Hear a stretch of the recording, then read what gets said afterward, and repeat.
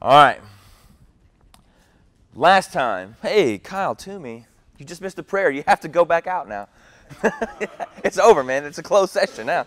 Uh, so last time we covered these books, and obviously you can see that if you know if you know the order of your Bible, the way it sits, Proverbs and Psalm, we we skipped some things after 1 Samuel. We skipped Kings, we skipped Chronicles. We're doing that on purpose because we're going to thread those through with the prophets that go with them. So like Isaiah being who with uh, there with Malachi being with who those guys, and then Ezra, Nehemiah, and Esther come before Job, but they're really far at the end of the the historical line on the canon because that's when everybody comes back to Israel, back to Jerusalem, and sets up the temple and then sets up the wall. So we're going to kind of more in the actual historical lineage than we are going through as it is canonically. That just means like in the canon of the Bible, the order the books are in. So we're this is the way that we've been going.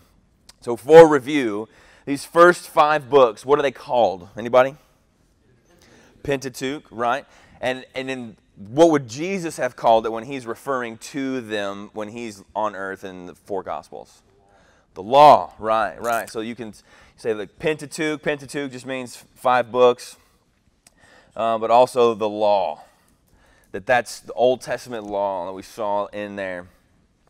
Um, and we'll go back over this. And then Joshua and Judges, what's happening in, in these two books right here, as far as history goes?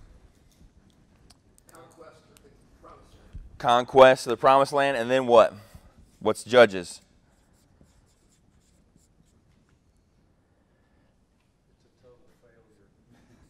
Failure in the promised land. Yeah, you can. That's a good way to describe it. Conquest and then failure. Everything's good with Joshua. Joshua dies and everything goes into the pits. And then they're, but they're still in the land. Then the book of Ruth and Samuel. Before we describe them, why do they connect? Do you remember that? What's their big connecting point between Ruth and Samuel? David. Why is David the connecting point? Ruth's lineage, right? Because Ruth is David's great grandmother, right? So David's the connecting point in both of these. But Ruth is set in what time period? Judges, right. So she lives in the time when the judges ruled the earth. And then David's not the first guy we see in the book of Samuel. Obviously, we see Samuel first, but David becomes the chief focus, right? And then we do a weird jump and we go to Job and Psalms. Why are we why did we go from Samuel to Job? That was kind of that felt like a hard shift when we did that last semester. Why did we do that?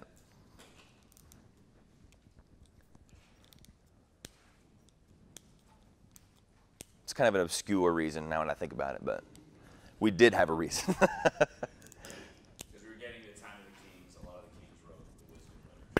there you go. It's wisdom literature, wisdom of kings. Evan does office next door to me. Uh, that's not a K. That looks like a big N, but Susan, that's going to be a K. We have a spy in the back, but she teaches for the women's class, so it's okay. Um, wisdom of the kings. So David starts this. He's the first good, real king, right? Because Saul, it goes Samuel, then Saul, then David, and David's like the premier prototype king that the people uh, they were they wanted just to be famous. They wanted to be like the nations. They wanted to be strong. And god rejects them for that but then still gives them a king like they wanted. And see that's how see how what you really wanted was that? And then david comes along and he is the king that's supposed to be. And the wisdom of kings job is a wisdom book not written by a king but still wisdom literature. Psalms is poetry full of wisdom, but full of Godward thinking and Godward feeling, rather. Proverbs is also wisdom literature, and so is Ecclesiastes. We're going to get to those. But that's why we jump from Samuel, King David, to the wisdom literature, because those are the, the kings are supposed to be wise. The kings were supposed to do what, according to Deuteronomy 17? What were they supposed to do? One, one special thing. This is a bonus.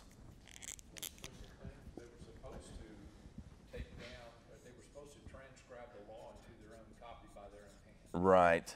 They're supposed to write the law.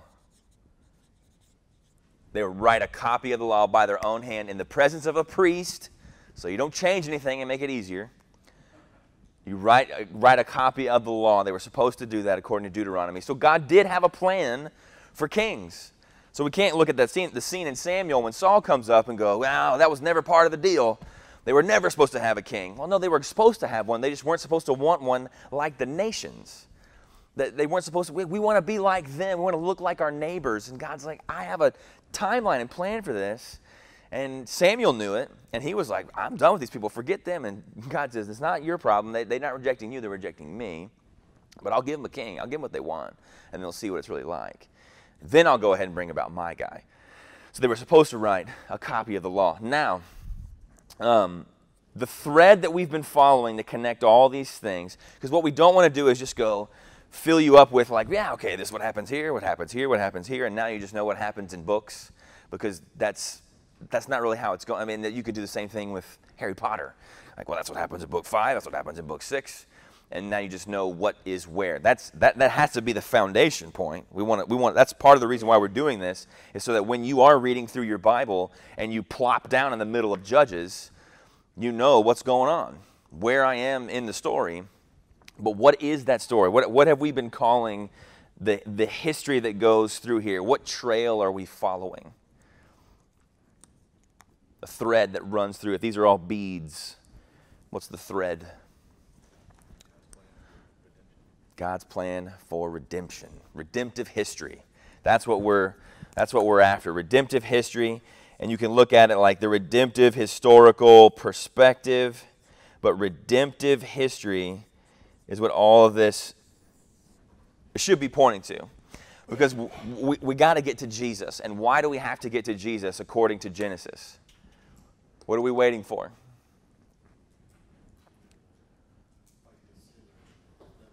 right. This God promises out of pure grace when that when humanity falls from him and sins from him in Genesis, he gives them in the cursing, he gives them a promise of grace.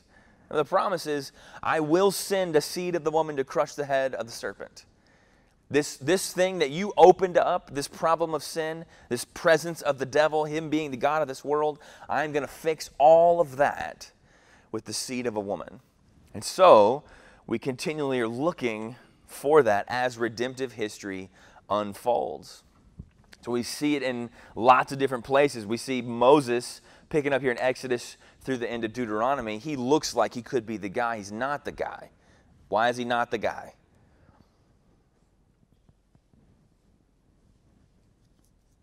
Why is Moses not the one that's going to be able to crush the head of the serpent? He did kill people. He kills people in Exodus, right? And then he goes out to Midian and then he comes back in, right? He doesn't get to go to the promised land, does he? No.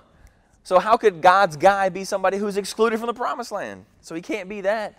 Joshua, he looks like he could really be the guy. He's maybe one of the better candidates in the entire part of the Old Testament we've gone through now. But even he's still not the guy. Because Hebrews, the book of Hebrews says, remember if we looked at that when we read Joshua, that the rest that Joshua gave people when they came into the land was, was not full rest. It was not the, the eternal rest. There was still evil all around them. And really, they didn't kill everybody in the land like they should have because that's what happens here. You left some of those Canaanites in there, and then you're like, yeah, their gods seem like they could be okay. We'll just kind of blend a little bit. We'll just let you be. And then you just uh, get co- totally co opted by them. Then Ruth is this kind of interlude to get us to David, but she's obviously not the seed of the woman because she is a woman.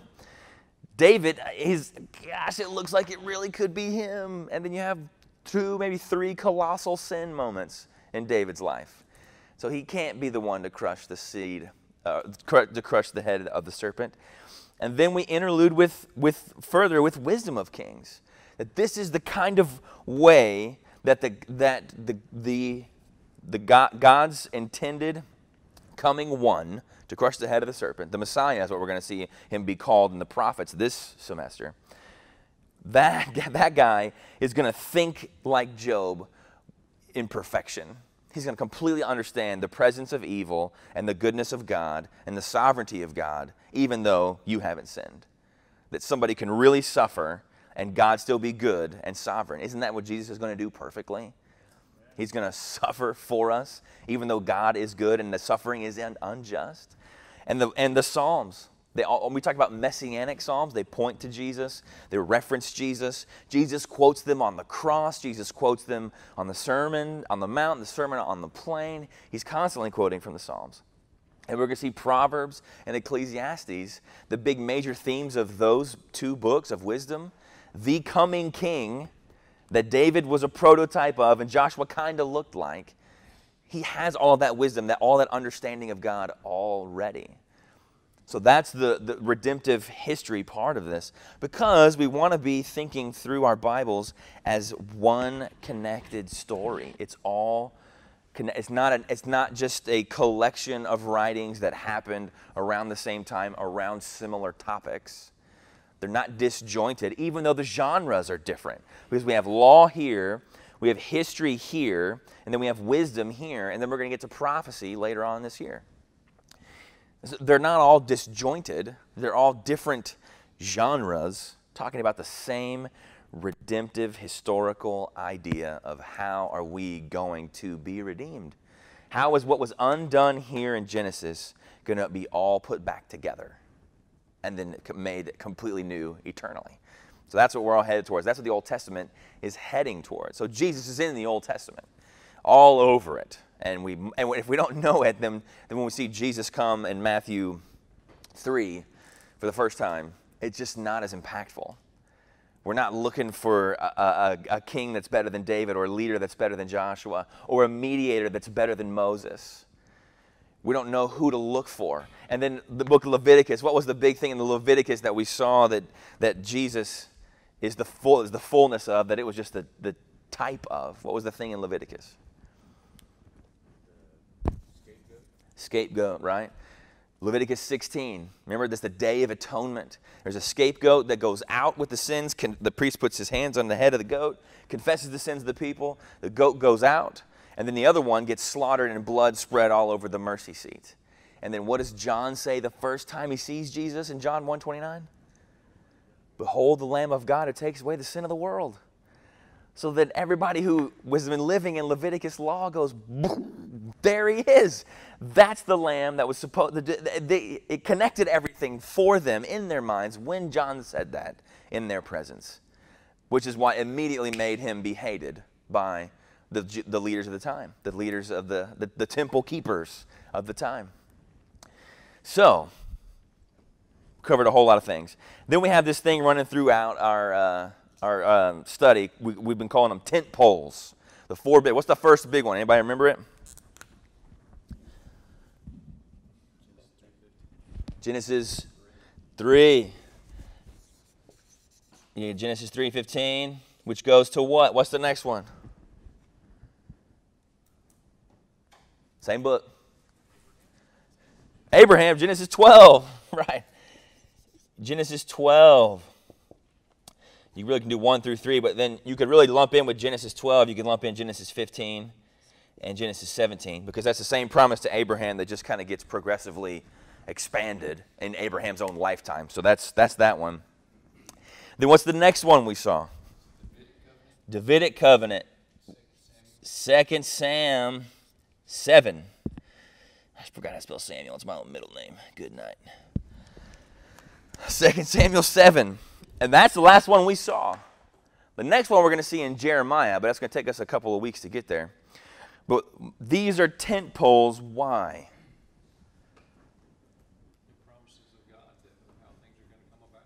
Yes. Because God promised in Genesis 3:15, I will eliminate this evil with through an individual who is not born from the seed of man. And then you're like, okay, well, what's going on? How are you going to do that? He goes to Abraham. You is who it's going to come from. Through you and the one I'm going to I'm going to bless this people, make you into many nations.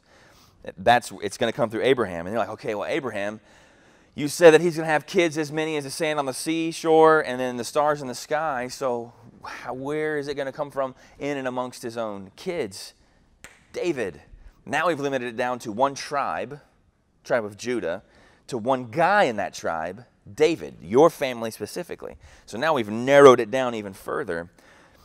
And then we're going to see it just get expanded in the beautifully with the with the words the new covenant. Not given to one individual, like this is given to Eve, Adam, or uh, Abraham, David. The new covenant is a prophecy for all the people of God given by Jeremiah. So we're going to see that as our last tent pole before you make the big leap into the New Testament, because then Jesus says in Luke 22, This is my blood of the new covenant. And you're like, then he just run back, he just run back and strung all of this together by saying that in the upper room the night before he died. So that's a little preview. I wasn't bargaining on that, but you showed up on the first week, you got it. You got the early stuff. So that's kind of rundown. We caught up to where we are now, just kind of has as we've been going through things. So get your mind in the set thinking like we had kings come in, saw the life of David. He's as good as it's going to get as far as kings go. We're going to see that when we get to the book of First, Second Kings, First, Second Chronicles, which in the Jewish Bible is just one humongous book. Uh, but when we get to Kings and Chronicles, we'll see. Yep, David was as good as it gets, and David is the measuring stick because each, each successive king they're going to say about like well he did not follow in the footsteps of his father david or he did follow in the footsteps of his father david. Like he's just going to be the one that they can keep going back to. Saul never gets mentioned again. So the wisdom of kings is where we are now. We're in the middle of that wisdom literature. So we saw job and with dealing with the problem of evil and the god's goodness and sovereignty and my sin doesn't bring about my pain always necessarily because Job doesn't sin. We saw Psalms, and we saw them this summer just in Sunday morning sermons. But now we're going to go to Proverbs. Proverbs, we're going to spend our time this morning. When just based on what you know of Proverbs, without looking at the stuff I pre-wrote up there, what, is, what has Proverbs been to you? If you were going to describe Proverbs to a new believer or to a non-Christian who is like, man, I read the Bible and I opened up to the middle and I read these things, what are they? How would you describe Proverbs to uh, that kind of person? Prayers, or praise? Yeah. What else? How would you describe them? Wisdom on how to live?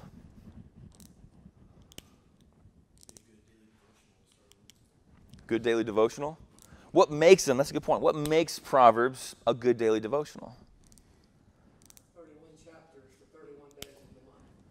There you go. That was what I was going to say at the end. Turner, that was my big crescendo. no, you're dead on, though. 31 days in a month, 31 chapters. That's great. And, and it, you can do that and you can read them real quick. And then you do it again the next month and it'll be like, I, I've never read any of this stuff. This all sounds so new because each, each verse is just a couplet of wisdom that, that you could mull on all day long. So, yeah, Proverbs is, is maybe one of the most uh, culturally acceptable books. No, nobody in the secular world is mad at some of the proverbs that just talk about, hey, be nice, don't be a hothead, uh, don't you know, don't align yourself with evil people. Kings should be fair.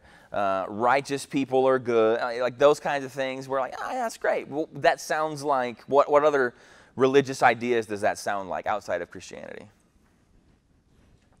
Sounds like Buddhism, Confucianism. Like a lot of Eastern wisdom is very proverbial in the sense that it just is a smart saying that sounds kind of true. So we're going to have to figure out now what makes Proverbs God breathed and what makes Confucius nothing. Because it, Proverbs can't just be our version of witty, pithy sayings on how to have your best life now. It's got to be something more than that. It can't be limited to just this. And we're going to have to answer the biggest question is where is Jesus in the Proverbs?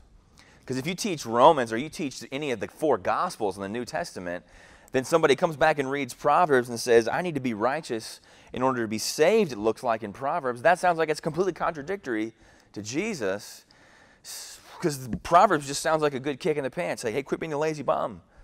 Hey, quit being wicked and evil you're like, yeah, okay, you're right. Okay, this is my football coach for the week. Is Proverbs. But it's it's got to be more than just that because Egypt has that. China has that. What does Israel have? What is the wisdom that Israel has been given, and how does it differ from the rest of the world? So that's what we're going to look at this morning. So turn your Bibles, Proverbs 1. that's no good.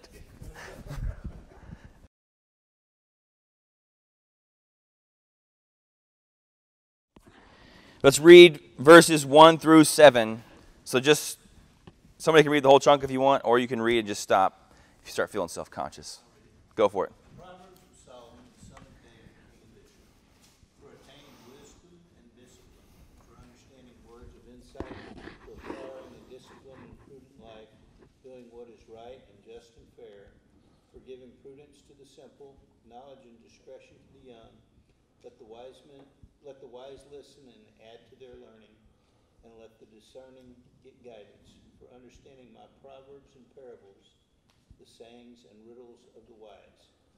The fear of the Lord is the beginning of knowledge, but fools despise wisdom and discipline. All right. So that's kind of just the intro. The preamble to what Solomon says. We saw there it's Solomon, right? The Proverbs of Solomon, son of David, king of Israel. We're going to see later on that he's not the author of the whole book, but most of it. All but two chapters at the end. And he gives the intro right there as to why he's writing, so that you can know wisdom and have instruction, understand wisdom. And it, we get it, Solomon. You're, you're about wisdom. Proverbs is a book of wisdom and what is wise and how to live life on the earth. And where does it all begin? What does verse 7 say? Fear of the Lord. What is the fear of the Lord? That sounds good. It sounds really Bible but how would I describe that to somebody? Like, oh, yeah, I'm, I'm trying to fear the Lord today because I want to have wisdom, and that's where wisdom begins. What is, what is fear of the Lord? Uh, you need to know who God is. You need to know about God. You need to know how He wants us to live, and you need to respect Him enough to do that. Mm. Because, at least in the Old Testament, there were a lot of a lot of this stuff was conditional. And you behave, life is good. If you get out of line, there's a big time spanking coming. So, right, right. And there's a there is an element of the proverbs of that. That that there's a contrast of the righteous and the wicked, the one who obeys, the one who disobeys. Right, right, right. That there are consequences. So the, the fear of the Lord, though, Stephen, you said really well, y'all partnered together really well in the definition that understanding God's holiness and who I am in light of that. It, so fear, you can think of awe. It's not like trembling terror, like a uh, like a slave feels to an overbearing and evil master, but it is an, an awe and a sense of like you are completely other than me you are holy, and I am the opposite of all of that. So if you don't get that right, then you're not going to understand any of this. You're not going to get anything. The, the greatest virtue in the book of Proverbs, you could just say, is the fear of Yahweh. As that's the Hebrew word that for God that no Israelite would ever say. But the fear of Yahweh, that's the overarching virtue of the whole thing. The, the book of Proverbs is bookended by that. The fear of the Lord we see in 1 7 and then again in 31 30. The, so Solomon is a man saying the fear of the Lord is the beginning of wisdom. 3130 describes the ideal, the ideal biblical godly woman, which is why the, uh, the Hebrew Bible puts Ruth after Proverbs, because you're supposed to read that chapter 31 of Proverbs and go, Who is that woman? And then you see Ruth, and you're like, Oh, she's that woman. But that, that still says that that kind of woman fears the Lord. Men and women, all who God has created. That's where wisdom lies, is fear of the Lord. Well, then we have to ask the question then is what is wisdom? Because why do we care if we have it or not? What is wisdom? If we're supposed to fear the Lord, and that's where it starts, it's, it sounds like we're supposed to want wisdom. What is it? How'd you define it? The ability to make good choices. Ability to make good choices. Awesome. What else? Get some more brains thinking on this. Understanding what God's will is in that particular decision or choice that you have to make. Right. So yeah. So then yeah, choices, which is kind of what our lives consist of, right? We're, we're, we're making choice after choice after choice after choice constantly to wake up or not or hit snooze. I mean, that's how our day starts. I'm making a choice, right? So, wisdom in making choices, really, you can think about it too, is how to successfully navigate life, which is a series of choices. And th- that's what wisdom you could just summarize as is that if I want to do this, it needs to start with the fear of the Lord because the fear of the Lord is what is true. That's understanding what is true about God. And whatever's true about if, if God is true, if what we've read up to this point in the Old Testament is true about God, Evan, the, the video, it fell down. So I had to put it back up. I know, it just, it got possessed and fell over. A mighty wind blew through. Um, and so Proverbs is helpful along those lines for us how to live wisely. So these are the four themes. We're going to get to those here in a second. Uh, but there's a, there's many themes in the book of Proverbs that you can go down through, uh, and some of the proverbs stand on their own. This is one of the one book that you can maybe take out of context the most, and it's almost never out of context because they're they're little couplets of wise sayings. So you can just lift it up and put it on your coffee mug without it being something that you've totally taken out of context and it means something different now. These are wise, short sayings for us uh, as Christians, mostly written by King Solomon. And we read in um, we read one through seven, but then verse eight says this: "Hear, my son, your father's instruction, and forsake not your mother's teaching." So Solomon is starting this book out, coming at it from a, a parental perspective. I want you, child, son, to, ta- to have the wisdom uh, of God and it starts with the fear of the Lord. Solomon starts there from a really familial perspective. It's not, he's not starting out like an Eastern religion guy, a guru on top of a hill. You come up to me and I'll give you the, the light of life. It's not, it's not outside. It, what, you know, more in-depth scholarly works describe where, where's the nucleus of, of Israelite wisdom. It's not in the marketplace. It's not in even in the, the Center for Religious Worship, it's in the home. The, fam- like the family, the nucleus of the family. We're going to see tons of relationships like that when we get down to context for wives living. But that's where it starts. Solomon giving wisdom to his son. And in the book of Proverbs, there isn't a ton of redemptive historical progression in the sense that something more has been added to the story that we're following through here, but there's not nothing that's added to it. Because we do still have to answer the question why is this different than Confucius? Why is this different than Buddha? We're going to have to answer that question, and Proverbs will get to that for us. But the outline of the book is kind of just limited to authorship. So you can think of it 1 through 9 is Solomon talking mainly to his son, and then 10 through 29. Let's write these down. Uh, it Fell again, Evan.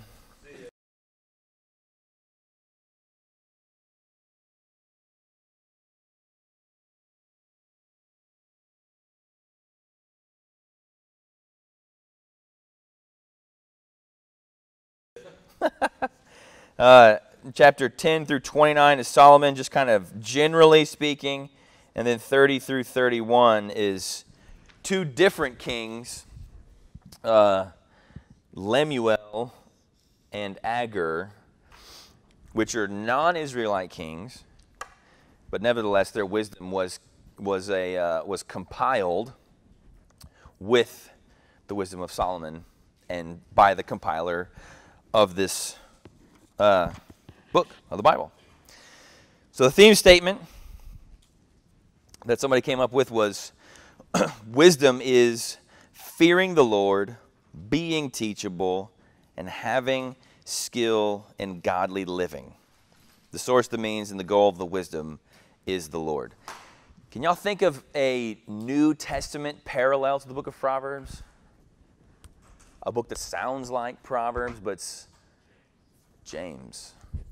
James is a New Testament parallel, very similar. Because James, it, it's the big criticism against James, uh, at least by people who are bold enough to criticize the Bible, is that uh, there's not enough gospel in it. Because Jesus' name only appears two times, I think, in the book of James. And, re- and one of them is when he's describing, James is describing his own relationship to Jesus, that he's his brother. But there's not no gospel in it, and there's not no gospel in Proverbs, which is what we'll see. That the fearing the Lord, being teachable, and having skill in godly living, that that's, that's what the book of Proverbs is about. And Proverbs is different than Job and Ecclesiastes. I keep pointing to the other side. Ecclesiastes is somewhere over here. We're not there yet. Uh, it, because Proverbs is God's wisdom as it is revealed and in, as it's harmonized in life. Because Proverbs is, that's why it's so approachable for all of us, because it's like, do this, don't do that. Do this and don't do that. This is what fools do. This is what wise people do. This is what wicked people do. This is what righteous people do. It's simple. There's not a lot of interpretation that goes in here, except for when it gets into stuff like having oxens in your barns and it's going to make it dirty, but it'll get more produce. We got to figure that one out. But most of it is pretty straightforward. Job and Ecclesiastes is the wisdom of God in his hiddenness, right? Because Job never hears God speak until the end when he's about to make the wrong decision. And Ecclesiastes is the vanity of vanities. None of this matters. None of this is this is all worthless until it's finally not. So those are God and his hiddenness and wisdom. But Proverbs is God's wisdom in its revelation and its obviousness. That's the significant difference between that book and the other books of the um, of wisdom. So the point of Proverbs is not how to have a better life; it's to know God, to know the mind of God, because the fear of the Lord. I can't fear something that I don't know. I can't be in awe of something that I don't know. I mean, what makes us more in awe of the vastness of the skies? Me sitting around on my phone or going out to way west Texas and getting on that telescope and looking up at the stars and see, realizing how small you are. The more you know, the more in awe you are, and then the more you rightly order your own life. So that's what Proverbs is instructing us too. Like this is gonna, this is gonna, you're gonna have to know God in order to be able to do this. So the Proverbs, in general, are principles for godly living that lead to a blessed life in general. Now we have to leave that caveat there because what's happened in Proverbs, we all have our favorite one in here, right? That you you look to and you go, oh, here you go, Proverbs 3 5. Trust in the Lord with all your heart and do not lean on your own understanding. In all your ways acknowledge him, and he will make your paths straight. Like, oh, my straight paths. That means easy living. And I'm and I know that because straight paths are easier to walk than crooked paths. So if I acknowledge the Lord in all my ways, then I will have straight paths. My life will be easy. Well, what about Job? What about Joseph? So we read those and we can say, in general, these things are true because most people are not Job. Most people, God's not saying, Have you considered my servant Tommy? Satan, I want you to particularly go after him. That's not happening to most people. What happens to some people? So Proverbs are not promises from God. They're general truths that are generally true because it just it's generally true that if I live according to God's word and I'm striving for righteousness, I'm striving to, for holiness, to be like him as much as I can, then things will tend to be better than me, right? Better for me. My marriage tends to be better off. My kids tend to be better off. But there's promises in here that we can look at, like Proverbs 22, verse 6. Let me read that to you. Um, that we, if we take this verse, we, we, this is, this is uh, sold in every Christian bookstore from 1985 to 1999. And then it went away. A little, little sign you could put in your baby room. Verse, verse 6 Train up a child in the way he should go, and even when he is old, he will not depart from it. Does anybody know kids with godly parents who went off the rails? Well, what about this verse? This is a, it's a promise right here. I mean, that's why we can't take that because even the Bible has examples of that. Manoah is a godly father to Samson, and Samson is a putz. Manoah does everything right. His wife is so godly as well, and Samson ends up being a complete idiot. so this this verse is not always true, but it is generally true. Because what does God say in his promise to Abraham? This promise is to you and your children. Yeah. But it's generally true in that even if they go off and do stupid, they, they may come back. Right, because they at least have something to come back to. It, it is generally true in a lot of ways. But even I, I mean, my first example of this was one of the godliest guys I knew was my friend of my dad and had kids that were like 10 years older than me, maybe, maybe 12 years older than me. And two of them were just awesome all stars they were in the Corps at a&m they achieved so much in life. They were very godly. They have very godly families and kids right now. And one son just went how do you get two two out of three when you like what home existed for these two sons to be awesome? But then this son goes up. I mean it's because god is sovereign over all those things. But this is generally true but it's not a guaranteed promise from the lord. And that's why we have to understand genre right these are wise sayings these are not god speaking promises to us when we when god says a promise then that should get our attention. That is relatively few highlights in our Bible, but we should know them. But these are generally true statements. We need to know that right off the bat. But some proverbs, though, this is just to be more confusing, are always true. So look at chapter 16. We can rattle off a few real quick in chapter 16 that are always true, and they're, always true because they describe God. Not circumstances in life, but they describe who God is and how he functions. So let's look at 16:1. The plans of the heart belong to man, but the answer of the tongue is from the Lord. Always true. You can plan and do whatever you want, but God is in control. And then go to verse 2. All the ways of a man are pure in his own eyes, but the Lord weighs the spirit. Always true. You may think that your ways are pure, but God really is looking at your heart and understanding it clearly. Verse 4 The Lord has made everything for its purpose, even the wicked for the day of trouble. Always true. God is the one sovereign over all things, even the wicked. Verse 5 Everyone who is arrogant in heart is an abomination to the Lord. Be assured he will not go unpunished. Always true. That's always true of God. And then verse 9 The heart of man plans his way, but the Lord establishes his steps. Again, that's always true. But it's because it's describing God, not describing what can happen in your life or what leads to pleasant living in life, because that can change. Uh, when you think of the book of Proverbs as a manual for fulfilling God's creation mandate, dominion over the earth. How do we exercise dominion over the earth? We we do what God says to do, and that's what Proverbs is all about, doing what God says to do. So we're fulfilling the creation mandate comes in Genesis, remember? Fill the earth, multiply, have dominion over it, take care of my things, work all these things. Uh, but we still read these as generally true because we need to understand genre. Now, what you can do is you can go, well, it says that, and we are literalists. The Bible is literal, and we take it literally. And that is true, but do we take it literally in John when Jesus says that he is the door of the sheepfold? Is he literally a wooden rectangle? Right, he doesn't swing on hinges. When he says, I'm the bread of life, is Jesus a loaf of bread in the shape of a wooden rectangular door? So obviously, we understand that there are literary devices that happen. In the book of Ephesians, Paul says, Never let the sun go down on your anger. What does that mean? That if you ever go to sleep without perfectly being resolved with resolutions with your wife, that you're just condemned by uh, beyond all get out? What if you live in Nome, Alaska, where it never comes, becomes nighttime? Like, so, or it's always nighttime when it's winter. Like when, then you, if it's wintertime, then you never have to resolve anything because the sun never goes down. So we understand that that means don't let conflict fester, right? You can't let that sit and be there. So we, this is how we have to understand Proverbs. We have to understand it according to its genre. So Proverbs has a bunch of parallelisms in them. It's like uh, that's what Hebrew poetry device. We talked about that when we talked about the Psalms. It's like uh, da da da da da da da da da da, and then a new topic da da da da da da da da da da. Two lines, either comparing or con- or uh, contrasting.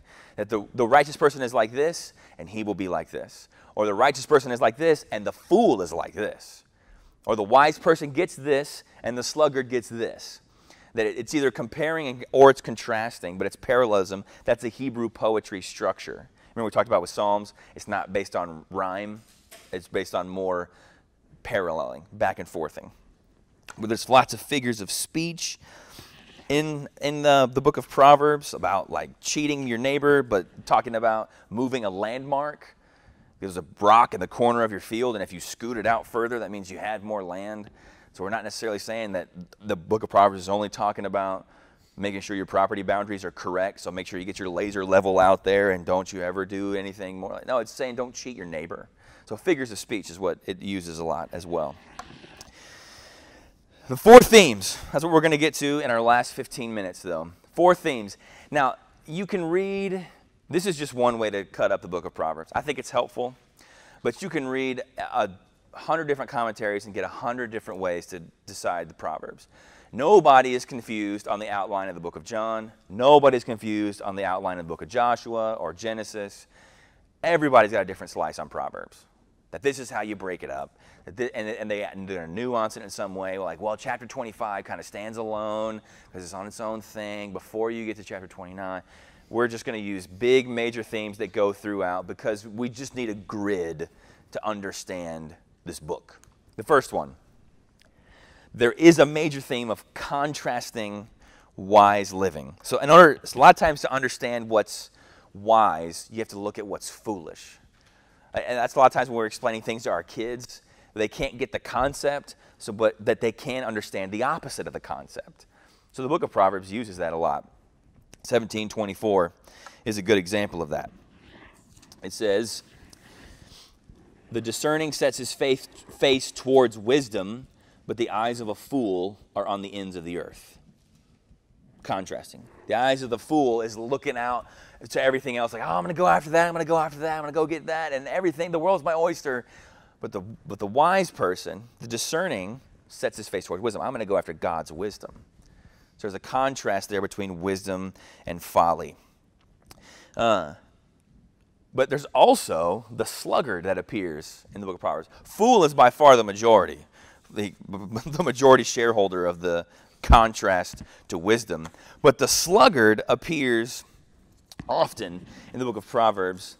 And uh, that's where we get to the chapter 6, verse 6. Go to the ant, O sluggard. Consider her ways and be wise. So he's saying, sluggard, you're the opposite of wisdom, and you can learn something from an ant. Because what does she do? Without having any chief officer or ruler, she prepares her bread in summer and gathers her food in the harvest. How long will you lie there, O sluggard, when, you arise, will you, when will you rise from your sleep? A little sleep, a little slumber, a little folding of the hands to rest, and poverty will come on you like a robber and want like an armed man. So that's the opposite of wisdom. The sluggard is the person who's not wise because they're not taking advantage of what's available to them now. They're not, t- not that we're opportunistic, but there is a time for harvest and there is a time for planting that when we need to do things in those times. And so that's the contrast to wise living. And the sluggard is not the person who's just an outright refusal. We see in the book of Proverbs that it's just the person who's kind of making lots of little micro decisions to go, well, you know, I, the, the sluggard is the one who puts his hand in the dish but won't even bring it up to his mouth. I wanted to eat this whole thing, but I, I just can't. So, I, you know, the, the person who just makes tiny decisions and ends up doing nothing. The contrast to wise living. Or, yeah, contrast to wise living. But there's a context for wise living. This what describes we have the family, but then we have two dynamics in the family in the book of Proverbs the husband and wife relationship and the parent and child relationship all over the book of Proverbs. We already saw the, the uh, train the child in the way he should go verse. That's parenting. Uh, but also, if you spare the rod, you hate your son. That's in the book of Proverbs. But then there's tons of context about husbands and wives, and particularly wives. Because Solomon's writing from the husband's perspective, right? And then you get um, wisdom to all men in chapters 1 through 7, just dealing with the adulterous woman, the call of lust. Uh, but there's a lot of uh, negative things written about, uh, like it's better to live in the corner of a house than with a contentious woman. It's better to it's better to have water dripping on your face continually than have a nagging wife. I mean, there's lots of proverbs along those lines, but also proverbs about enjoying your wife. Chapter five, Chapter 5, the, the, the wisdom is why are you letting your water spill out in the street? Meaning, why are you taking what's most precious and putting it anywhere? It should go directly to your wife, it should stay in that well. So there's that context for wise living with marriage, family, kids, how we relate to each other is the context for it. But then the last one, I forgot to put on here, is friendships. The friend sticks closer to a brother.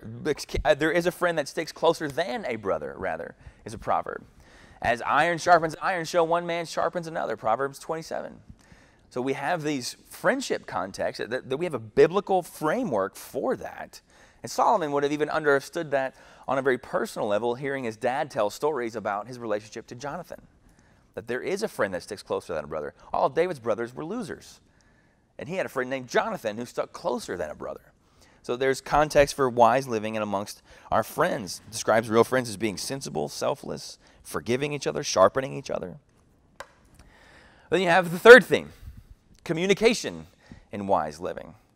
Speaking and listening are the two big ideas there. There's wise things to say, using your words carefully. For instance, Proverbs 13. Let me turn there. 13:3 Whoever guards his mouth preserves his life. He who opens wide his lips comes to ruin. You ever been in that situation? With your boss, with your spouse, with your anybody? If I had just not said anything, I would have guarded my life. Uh, this this all over the Proverbs. Uh, 1727 Whoever restrains his words has knowledge. He who has a cool spirit is a man of understanding. Uh, there's, uh, I'm trying to find my, one of my favorite ones where it's even a fool who doesn't say anything is wise. I can't remember. I can't find that one. I'll have to send it. I'll get to you next time. But like even even the, the the stupidest person alive, if he's quiet, there's at least wisdom in that, because now nobody knows that he's stupid. Like That's Solomon's dead on the nose on that one. So we have these wise living, but then even more so, there's wisdom in not saying anything but listening. But a wise person is not always talking and speaking wisely, but is listening. Seeking, the, the, all throughout the book of Proverbs, there's a call to come and seek wisdom. Come and get wisdom. If you get anything, get wisdom. If you get anything, get understanding, get knowledge, get instruction. And what are you doing if you're getting wisdom, knowledge, and instruction? You're not talking, you're listening. So the wisdom of that is how we communicate in wise living. There's a, that there's a context for that. Lastly, the outcome of wisdom that we see. We're going to, Proverbs 19, 16, read that for us. It says, Whoever keeps the commandment keeps his life.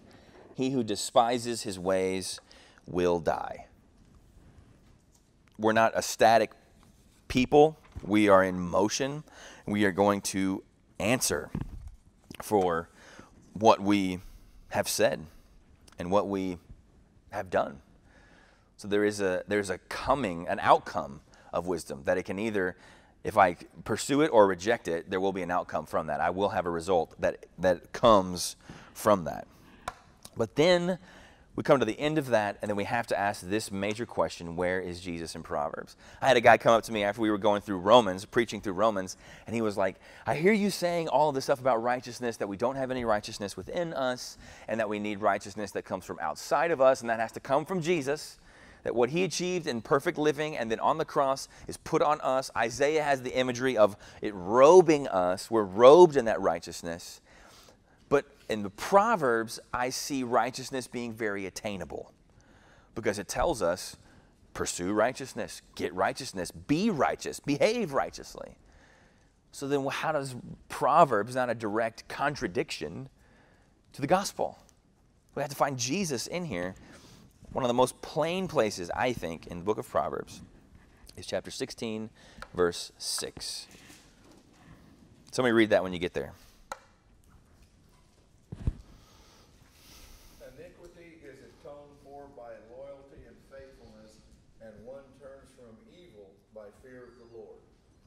So we have iniquity and it needs to be atoned for. And how is it atoned for? Fear of the Lord. Fear of the Lord. Now, we can read Proverbs 1 7, and then here again 16 6, and then all else throughout the book of Proverbs is the fear of the Lord. But if you're honest with yourself, what are you going to say? I don't fear the Lord. I do things all the time in defiance of God. I, I, can't even get out of my house before work without doing something like that. So, therefore, how are my sins going to be atoned for? Because Proverbs 16 6 says that by steadfast love and faithfulness, iniquity is atoned for. I don't steadfastly love God, and I have no faithfulness towards Him in and of myself. There must be someone coming in the progress, remember, redemptive history, who can do that. And it's got to be the one that God said will crush the head of the serpent. It's got to be one who's similar to David, but better, because David's a man after God's own heart and he has colossal failures in his life. So Proverbs 16, 6 says, You have sin that needs to be atoned for. That's where Jesus is.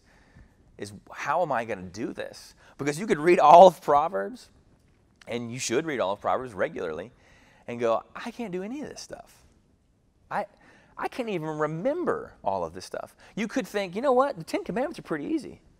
When I see them here in Exodus 20 and then here in Deuteronomy 5, I can do those things. I can keep from murdering people. I can keep from making idols. You could trick yourself into thinking I can do these commandments. Jesus disproves that later on in Matthew 5 and 6. But then when you read the book of Proverbs, you go, yep, got that. I mean, you can't even make it out of chapter 1 without going, I've, I've missed all of these. Every single verse of these, I can't do any of this stuff. I don't fear the Lord in these ways. So then, therefore, I need a redeemer. I need someone to come and pay for this sin that I'm piling up on myself. So Proverbs then also shows us Jesus because it shows our need for Jesus. And in Matthew 12, this is also where Jesus is. Matthew 12, 42. You want to write that down? You can. But all of the wisdom of Solomon all of the wisdom of God is said to be in Jesus. He can do all of this perfectly. All of this he does perfectly. He contradicts the fool. He yells at the sluggard he, and corrects the sluggard. The family, he's the perfect son, the perfect brother. And he does have a wife, us, the church. So he perfectly interacts with his wife. He does have children as God our Father. He's the perfect friend. You have a friend in Jesus.